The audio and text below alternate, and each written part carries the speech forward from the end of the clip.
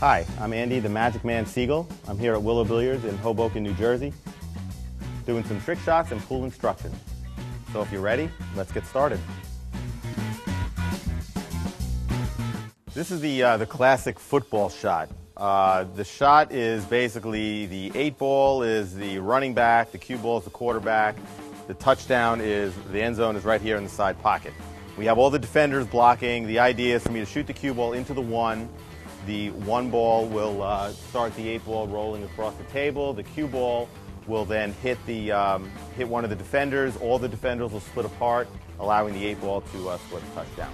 The way you set this up is you have the uh, the eight ball about an inch, inch and a half from the point, one ball straight across, and then you have these balls in the way, kind of offset a little bit where the tangent line between the 9 and the 13 goes straight into the 12. This tangent line goes straight into the 15, and, uh, and so on.